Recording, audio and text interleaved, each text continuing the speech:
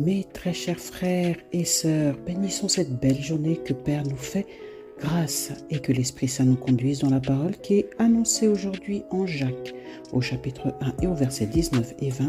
Soyez les bienvenus. Sachez-le, mes frères bien-aimés, ainsi que tout homme soit prompt à écouter, lent à parler, lent à se mettre en colère, car la colère de l'homme n'accomplit pas la justice de Dieu. Mes bien-aimés, voici un passage de Jacques qui nous exhorte à la gestion de nos émotions.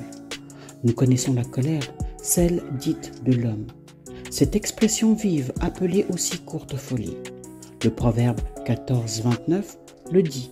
Celui qui est lent à la colère a une grande intelligence, mais celui qui est prompt à s'emporter proclame sa folie. À l'instant où elle est exprimée, c'est que le corps entier a perdu tout contrôle. Et c'est la chair qui est en émoi. Elle est livrée à tous les excès, car l'esprit, avec un grand E, a été mis de côté. Voilà pourquoi en Galates, au chapitre 5 et au verset 16, Paul nous dit, Marchez selon l'esprit et vous n'accomplirez pas les désirs de la chair.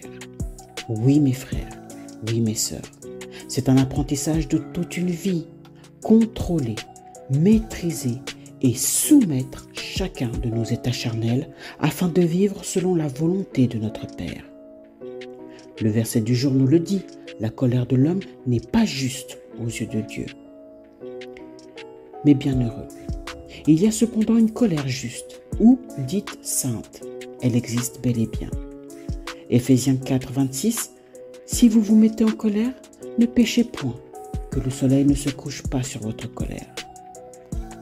Cette colère est une colère qui n'attaque point la chair. Elle touche les actions que le mal engendre sur des situations ou des injustices, par exemple.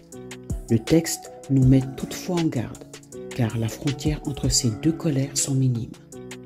Mais bien chers frères, la bataille se poursuit. Je vous encourage à revêtir chaque jour cette armure sainte qui nous protège des attaques qui excitent notre chair. Remplissons-nous du seul esprit qui est celui du Père et ne laissons place à aucun autre. Mais bien heureux, la parole est belle et bien vivante. Pensez à partager la vidéo, activez la cloche pour ne pas manquer un jour un verset d'amour.